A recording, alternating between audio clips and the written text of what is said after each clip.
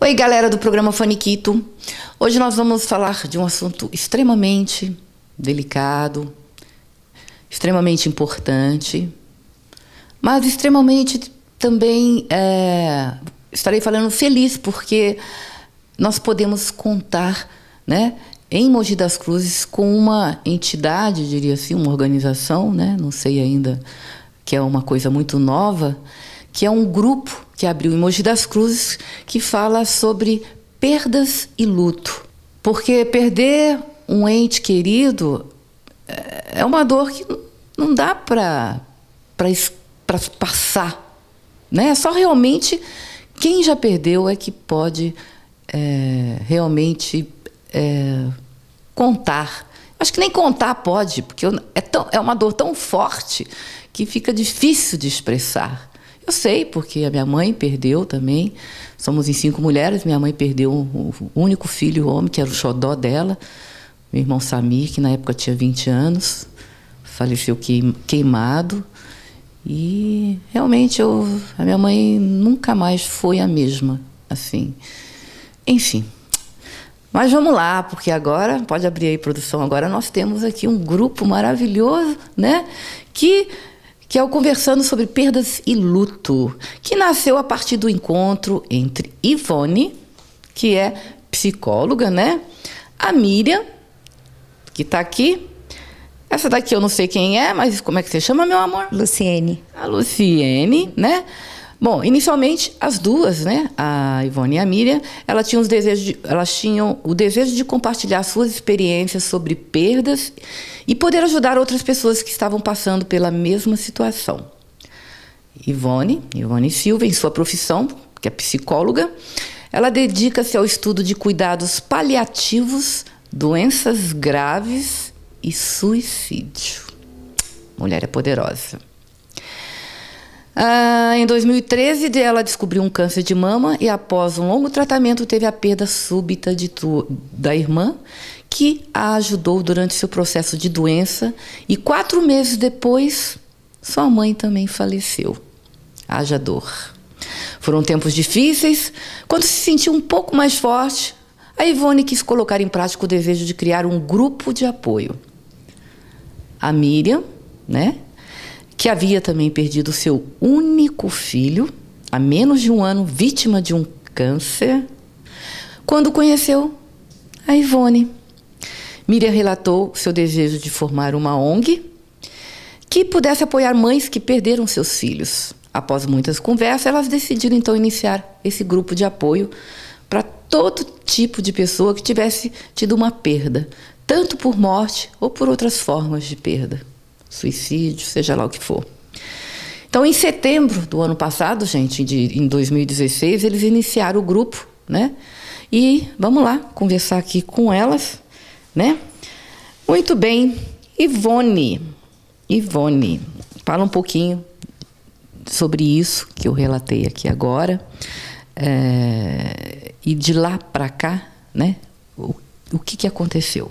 Tá. Então, é, após a gente ter discutido, resolvido formar esse grupo, aí a gente fez algumas divulgações na mídia, a gente também distribuiu panfletos tal, e em setembro a gente conseguiu montar é, essa nossa primeira reunião. Então, nessa primeira reunião do grupo, tinham aproximadamente, acho que umas 30 pessoas nesse primeiro encontro. Aí, de lá para cá, a gente eh, já fizemos 12 encontros, que né, eh, são encontros quinzenais. E nesse caminhar, a gente conheceu várias histórias, né? É nesse eh, nesse caminhar que a Luciene também veio fazer parte do grupo. Então, nós, é, mães que perderam filhos, filhos que perderam mãe, e pessoas que tiveram é, fim de relacionamento. Então, e a gente criou um vínculo muito bom entre nós, muito forte, né? Então, a gente pretende né, é, dar continuidade nesse trabalho, porque a gente vê que foi positivo para quem veio participar, né? Muito bem. A Lu, a Lu, como é que você chegou aquilo? Como e por quê? É, eu vim por uma, uma amiga em comum que nós temos, a Carla, é, que veio me falar da, dessa, do grupo e que talvez seria bom para mim, para me ajudar, que já vai fazer esse ano, completam seis anos que minha filha faleceu. E, e aí eu, eu, eu aceitei vir, né? E eu, acho, eu gosto dessa coisa de trocar experiência, de, de compartilhar a vivência, né? Uhum. É, de repente, com, com o tempo que eu já tenho de, da minha perda, do, o que eu já fiz, né, para me melhorar e, enfim, para superar de certa forma, né? Então, que seria legal compartilhar isso com outras pessoas que tivessem com essa perda recente e tal. E eu me identifiquei muito com o grupo, com, com as meninas e, e tudo. E a gente é, a gente até para o cinema a gente já foi, é. né, para assistir a Cabana, que é um, foi muito importante para todas nós, eu Tem que ler o livro, viu, meninas? É, nós é, bem... o livro e, e, fomos assistir o filme. Desculpa, é, era sua única filha? Não? Eu tenho um menino também. Ela faleceu com quantos anos? Ela tinha seis anos e meio. De? É broncoaspiração. Assim, é, o que eu costumo dizer é que ela era um anjo, que ela era uma criança diferente. Ela, não é porque era minha filha, não, mas ela era diferente. Ela era muito é, iluminada, eu acho. E, e, era um anjo que precisava partir. E Deus deu um jeito de levá-la sem sofrimento. Ela estava do meu lado, na cama. E assim, ela não tinha nenhuma doença, não tinha nada, muito saudável até. É, soube até que fizeram uma, uma junta médica no, no, hospital, porque ninguém conseguia entender o que, que tinha acontecido, porque não tinha uma causa que justificasse a febre que ela estava, com mais de 40 graus, apesar dela estar gelada. E isso causou uma convulsão silenciosa, ou seja, ela não, ela não se debateu nem nada. E nessa convulsão, ela broncoaspirou o líquido que era para ela ter é, colocado para fora, né? E foi isso. Eu cheguei com ela no hospital já com o pulso muito fraco. E depois a, a minha psicóloga é, me disse que eu precisava transformar a minha dor em alguma coisa boa, que de repente ajudasse as pessoas. E aí eu acabei fazendo é, no, no, segundo aniversário dela, depois da partida dela, eu fiz um aniversário solidário. Eu fiz no, no Bochicho com a ajuda do Renato. É, eu arrecadei muito, muita, muita fralda é, geriátrica, arrecadei brinquedos. As fraldas eu doei no, no Manuel Maria, no Asilo Manuel Maria. E os brinquedos eu levei para as crianças do, do abrigo da Casa da Criança. Depois disso eu fiz mais dois, mas eu não consegui arrecadar o mesmo tanto de. É, Assim, eu acabei meio que desanimando, sabe? Mas assim, aos poucos a gente faz uma coisa aqui, uma ali. Mas eu, eu, eu tenho vontade de voltar com esse projeto também. Volta sim, volta sim. É, eu sei é, que muitas vezes a gente fica desmotivado porque a gente depende das outras pessoas para que ajude, né? E e às vezes é tão pouco, né? Se cada pessoa ajudar um pouquinho, né? A gente consegue chegar naquele objetivo. Então, assim, é, é, não desista. Eu não desisto, né? Eu também tenho meu projeto social. Às vezes eu fico mal, vou parar com tudo, vou parar com tudo. Mas vai levando, tenta. Sempre tem pessoas boas. Eu creio nisso nas redes sociais, sabe? É, eu, eu creio nisso, porque quantas vezes eu precisei de coisas que eu já estava desistindo, de repente aparecia uma alma iluminada e já me mandava tudo que eu precisava, entendeu? Mas eu sei que é, essa falta de ajuda realmente é, desestimula a gente, né? Dá uma baqueada, é, né? Dá uma baqueada, não é fácil não. Me ajudou não. bastante, esse, esse projeto me ajudou bastante a dar uma Bora, não desanima não. não. Miriam, querida, fala um pouquinho do seu caso. Então, Patrícia, eu, quando aconteceu isso com meu filho, então faz um ano e meio que ele partiu. Então eu fico muito emocionada. Desculpa. Então, ele faleceu de câncer né, no estômago E ele foi uma pessoa assim muito resistente, né? Só que quando ele resolveu, né, se tratar mesmo, já não dava mais tempo, né? 44. 44 anos. E, único filho. E aí eu, depois que de oito meses assim, eu fiquei pensando assim, poxa, né? Eu tenho que fazer alguma coisa, né? Eu não sou a única, né? Aí eu fiquei pensando em várias coisas. Abri uma ONG, aí fiquei bolando os nomes, né? Mães para sempre. Ah, fui pensando assim. Depois eu fui fazer o curso do CVV, o ano passado, e eu conheci a Ivone. Eu não tinha conheci, não conhecia ela ainda. E aí eles aí conversando deu deu certo, né, da gente. Então eu tenho certeza que a gente se ajuda e ajuda as pessoas também, né? Porque tem muita gente, muita gente sofrendo, né? E esse projeto aí, eu, se Deus quiser, né? meninas. A gente vê, né? Nossa, as pessoas que vêm aqui, como elas se sentem, né? Mais fortalecidas, né? É porque, porque vocês dividem. Porque quando você está envolvido com a sua tristeza ali, você é como se só você tivesse é, passando por aquilo e sentindo aquilo e você você com esse contato com as outras pessoas você percebe que é, você troca essa tristeza, vai dividindo a dor, exatamente, né? Você como psicóloga, eu até queria que você me falasse um pouquinho, Ivone, na prática, como que você faz? Porque eu vi aqui no seu currículo que você ainda, ainda tem estudo, né? Que você trabalha com cuidados paliativos, doenças graves, né? Paliativo é aquelas crianças, aquelas pessoas que já estão tá ali só aguardando para para morrer, uhum. não é isso? E, além de doenças graves e suicídio. É, fala um pouquinho disso para mim. Como é que é, como é que quem que conduz isso? No, eu, eu, creio que é você como profissional da área.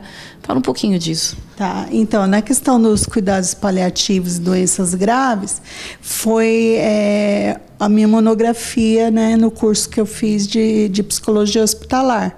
E daí, a partir daí, eu comecei a, a entrar em contato com situações que eu não conhecia. Daí, através dos estágios que eu fiz, tudo, comecei a entrar em contato, mas foi quando eu fiquei doente que isso realmente me tocou mais, porque daí eu pude vivenciar na prática tudo aquilo que eu lia, né, é, compreender melhor o que o outro sentia. Foi através disso. E, e, a questão do suicídio é porque eu sou voluntária do CVV há algum tempo, né? E nós fazemos um trabalho muito bonito de prevenção ao suicídio.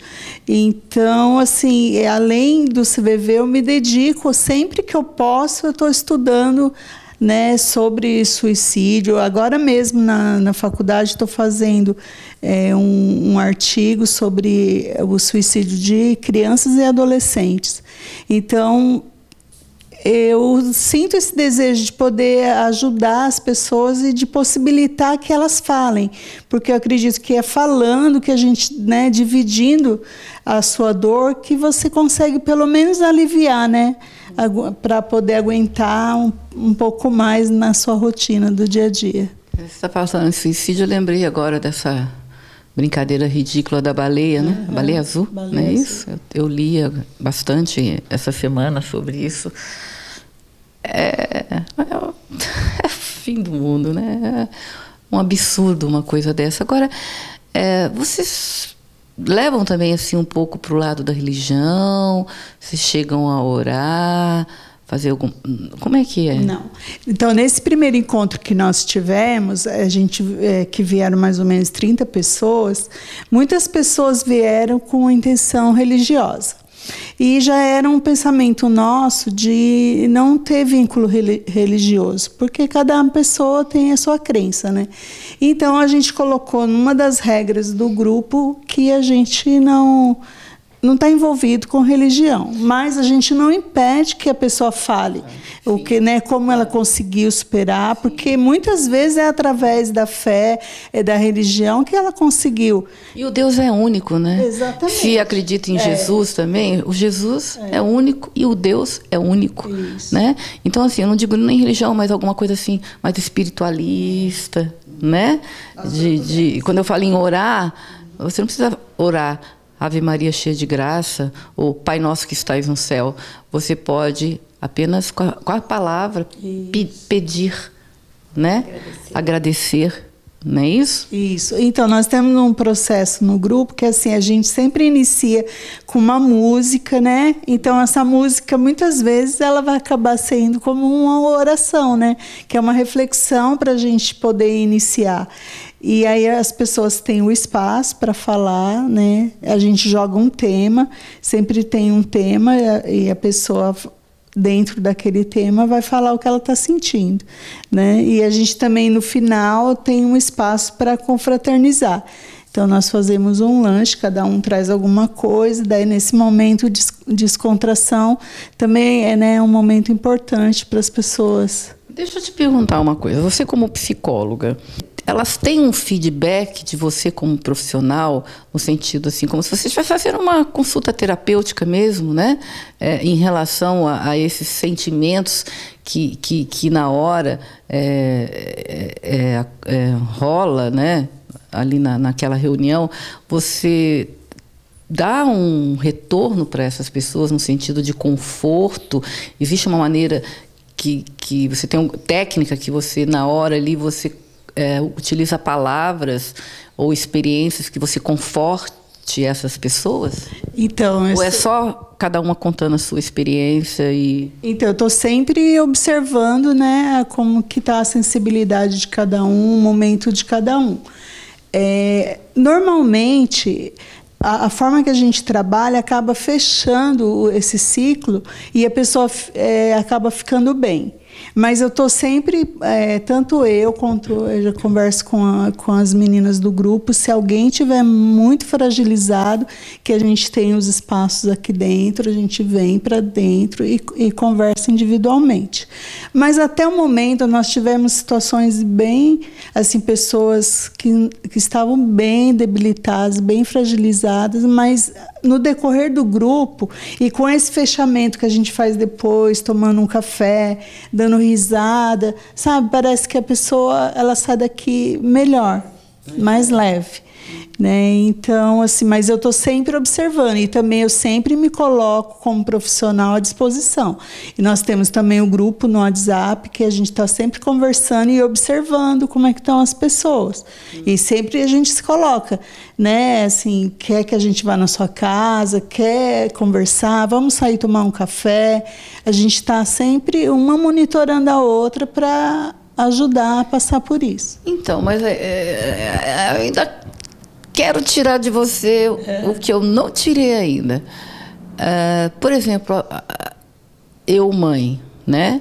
Chego, tô chorando, tô triste, tô acabada, quero, não quero mais viver. É, por que, que Deus fez isso comigo? Eu não acredito mais em Jesus, eu não acredito mais em Deus, eu, eu, eu não quero mais viver, papapá. Uh, como que você procederia, ou já procedeu, não sei se já aconteceu isso, é, é, na prática, como é que acontece? Né? Porque a gente sempre escuta né, aquelas coisas, né? Vamos, vamos e venhamos. Tudo bem, estava na hora, estava na hora. Mas vai muito assim, é, para o lado de Deus, Deus, tava na, é, Deus quis, é, aquele conforto, né? Tenha coragem, tenha fé, é, tudo para poder amenizar a dor. A gente tem os. É, e a gente tem aqueles estágios, né? Confortar, que eu quis dizer. Tem que confortar e ela para fazer ela aceitar aquilo, sabe? Sem ficar daquele jeito. É porque quando, quando acontece a partida, você tem aqui, os estágios, né? A negação, a, a, raiva, o ódio, a revolta, que se xinga Deus, porque eu contestei muito isso com tanta mãe jogando filho no lixo e eu que cuidava com a minha, com tanto, da minha com tanto zelo, com tanto amor, com tanto carinho, que protegia tanto, que não desgrudava, sabe? E, e Deus me tirá-la daquela forma. Então, assim, é, eu tive essa, essa fase dessa, dessa revolta, até que um, um, grande, muito querido amigo me deu de presente a cabana, que foi o que me deu um, me resgatou. Eu falo que esse livro me resgatou. Isso foi, acho que um, um ano e pouco depois da, do falecimento da minha filha. Eu li a cabana, foi um resgate, assim, porque eu me culpava, né? A gente tem a fase da culpa é, também. Porque que essa, a, essa é dura, hein? Porque que é assim que eu vi que, que, que eu de errado? É, porque que assim que eu vi que ela estava gelada. Se eu fizesse isso, isso, talvez não... É. Exatamente, a gente se culpa. Por que, que eu deixei de fazer? Por que, que eu fiz, né? Eu fiz tudo errado. O que, que eu fiz de mal para Deus me castigar desse jeito e tal. E aqui, quando a gente chega, a pessoa tem um espaço. Se ela quiser falar, se ela estiver bem para falar, ela fala. Se ela não quiser falar, ela não fala. Né? Se ela quiser simplesmente chegar aqui e chorar, ela tem essa liberdade. Entendeu? Então, assim, a gente tem. Eu, a minha já vai fazer seis anos.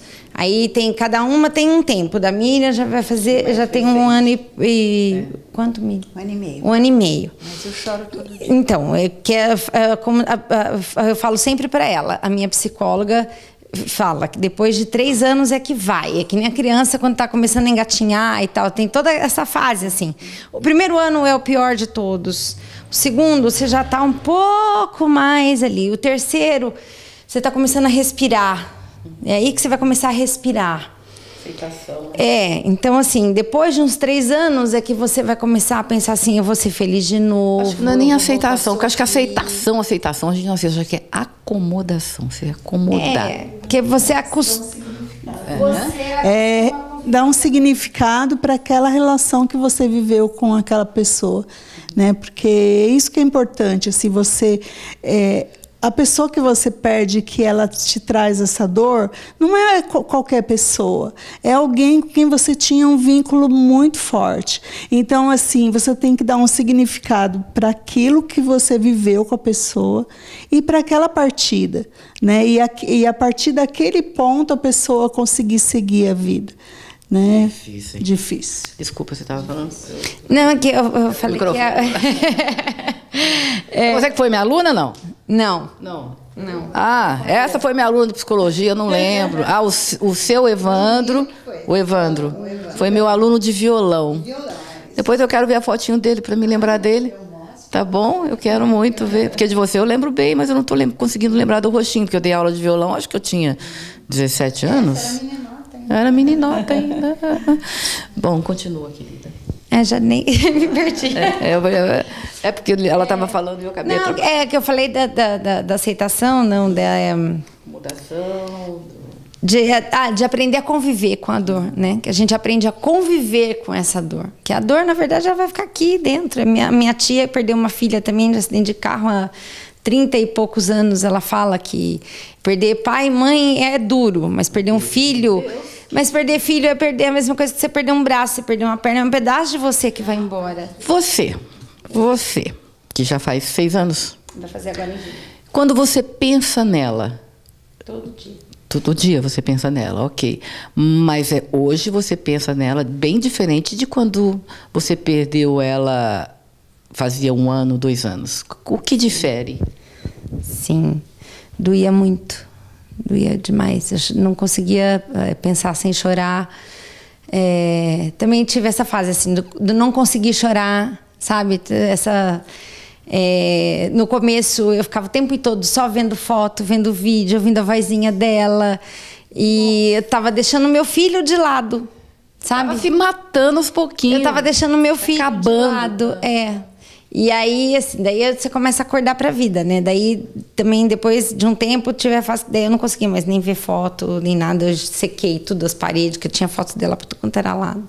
Porque foi a primeira filha, né? Então, então sabe como é que é, né? E, e, o meu filho fez tratamento psicológico durante quatro anos por causa da perda da irmã. Que muita gente fala assim, ah, ele é pequenininho, ele não vai lembrar, porque ele tinha um ano e onze meses. Imagina, ele lembra até hoje de brincadeiras que ela, que ela fazia com ele. E os maridos? eles têm participações, né? Ou os pais desses, dessas dessas crianças, desses adolescentes, desses homens. Eu sou viúva do pai do Evandro, eu sou viúva, né? Eu, eu tenho um companheiro, mas é, é diferente, né? Sei lá, eu acho, né? Eles não, eles não, participam aqui? Não? Então, aqui, durante esses 12 encontros, nós tivemos, eu acredito que uns quatro cinco homens no máximo que vieram. É, teve, acho que um que veio mais, umas três vezes, que havia perdido a mãe e depois também parou de vir, né? Assim, eu... Então vocês já curaram ele rapidinho? Não, eu acho que homem tem mais dificuldade de lidar com a emoção, né? Com o sentimento. Eu acredito que talvez seja isso. Mas vocês acham que a dor do homem, não generalizando, não quero generalizar, mas é menor do que a da mulher? É diferente, eu acho que é diferente. Eu acho que cada, né, dor é dor. Isso dessa pergunta, medir, né? Não dá para medir. O homem tem aquela coisa, não, eu sou machão, né? De, de se fechar, simplesmente se fechar. Você tem marido? Não. Não, não mais? Não. É o pai da minha filha. É meu amigo. Ah, eu não vou falar dele, senão ele vai ficar bravo comigo. Vai ficar bravo com você. Não, fique tranquila, fique tranquila. Bom, gente, lembrando aí que o, esse grupo, eu já mudei o nome dele aqui, porque vai chamar Perdas e Luto, pode mudar lá no, no, no Facebook, vai por mim, que, é, que pega mais rápido, viu? É, eles é, têm aqui o Opa, tá aqui, ó. O endereço. Fica na rua Maestro Antônio Marmora ou Mármora? Mármora, Mármora Filho, número 18, próximo aqui ao Alumifran, logo depois do Alumifran, no Mogilar. E tem o telefone de contato, que é o 11 99294 4805. Esse é o contato Isso. da Ivone. Eles também estão no Facebook, tá como lá? Tá conversando sobre perdas e luto. Depois você vai mudar, né? Vou. é, porque eu estou pensando já, já estou pensando no futuro, uhum. né? Já na logomarca, já né? imagina colocar conversando sobre uhum. perdas e dano, né? Eu acho que aí já está dizendo tudo. Deixa eu fazer uma pergunta, é, porque o, a, o CVV, uma época tinha fechado emoji e tal, tal, tal. Voltou. voltou. E onde fica? Então, voltou, é, nós voltamos, é, assim, abrimos para atendimento no, em outubro de 2016. No entanto, nós estamos atendendo das 18 às 22 horas, por enquanto. Na, ela, na Vila Lavina, mas eu não vou saber. Depois você me passa. É, eu, passar alguma coisa. Mas depois você me passa. Eu, eu tenho uma vontade de trabalhar no CVV, gente. Eu sempre tive vontade. A, a, a respeito do CVV mesmo, que a turma está divulgando no, no, no Facebook. É, é, sobre o, o, CVV e o telefone que está lá está errado, tá, gente? Já passaram, né? É. Ué, mas quem fez a página tem que arrumar. Não, a turma está divulgando que é para entrar em contato, para divulgar a respeito né, do, do, do, trabalho do CVV e o telefone que está lá não é aquele, tá, mas gente? Quem fez a página tem que ir lá e mudar. Então, não, mas não é a página. A pessoa pega, copia e cola é, para postar, na postagem. Cada um para fazer divulgação. Mas precisa ser, você não, você precisa colocar essa Por exemplo, eu mensagem. Gostei de, eu gostei de uma coisa, eu vou lá, copio e colo no meu. Então, é isso que eles estão fazendo. E o telefone que está nisso é que está errado. Ok. Tá bom. Ter, né? Se você quiser, em julho vai ter de novo curso. É, é, de, é seis em seis meses tem, né? A gente já está, até aproveita também, já passa o telefone da CVV aqui, isso. que é muito legal, tá? Muito importante isso. Muito bem, parabéns. Vocês gostariam, é, todos, né? É, estão, vai lá, convida o pessoal, tudo. Né? Então, eu gostaria de estar tá convidando as pessoas que sentem necessidade de falar sobre sua dor. E como sempre a Miriam fala assim que as, é, quando você perde alguém no início todo mundo te apoia né? As pessoas vão na sua casa elas te ligam tal. Depois some tudo. Aí daqui a pouco todo mundo some. E mas você continua se sentindo né é, mal com aquela dor e a família às vezes não quer mais ouvir, né? Todo... Até porque a ficha demora para cair. Exatamente. Depois é que vem o sofrimento, sofrimento mesmo, né? Exatamente. Né? Daí é, é, nós propomos isso. Vem aqui para a gente é, conversar, compartilhar a dor. Não é uma coisa triste. A gente tem os momentos, lógico, que, que tem choro, que todo mundo chora, lógico. A pessoa conta uma história, a gente chora, nós somos humanos. Marca eu lá no Facebook para me curtir a página. Tá, marco sim. Mas tem momentos de descontração também, tem momentos de alegria. Como a Lu falou, nós já fomos ao, juntos ao, ao, cinema. A gente quer, de repente, fazer, sei lá, piquenique, passeios, assistir filme aqui. Não é só, sabe, uma coisa pesada.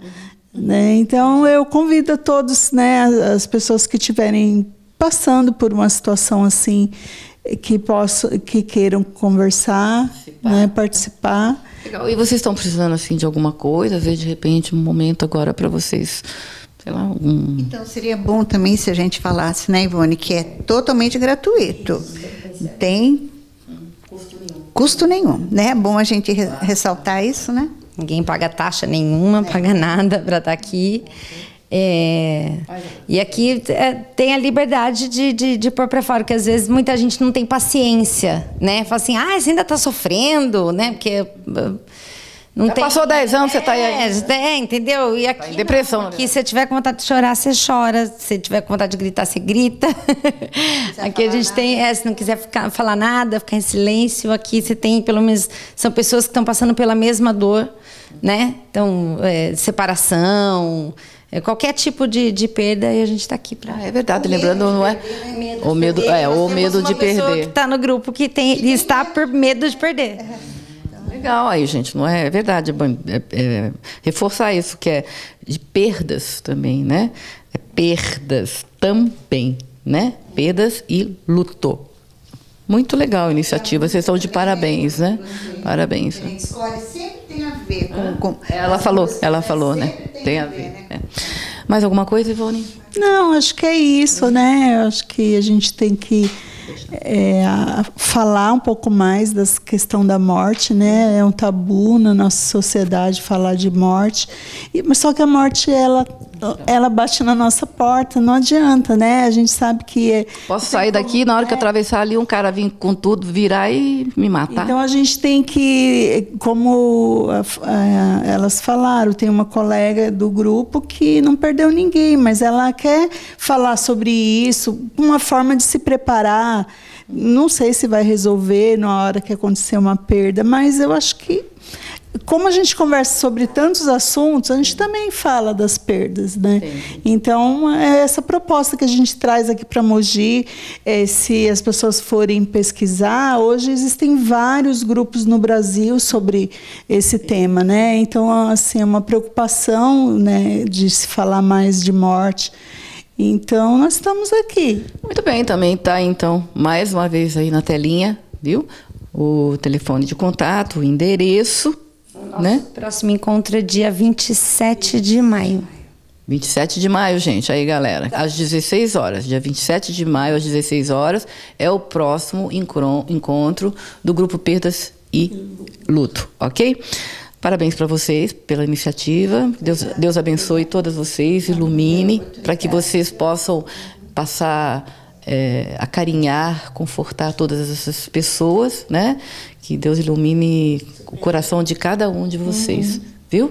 Dá um beijinho Amém. aqui para Ivone, dá um beijinho aqui para Lulu e dá um beijinho aqui para Mimi. Vai dar até porque eu não via ela, tô uma saudade. Obrigada. É isso aí, gente. É só chegar, né? E se vocês conhecerem alguém, vocês podem também passar os contatos. Valeu!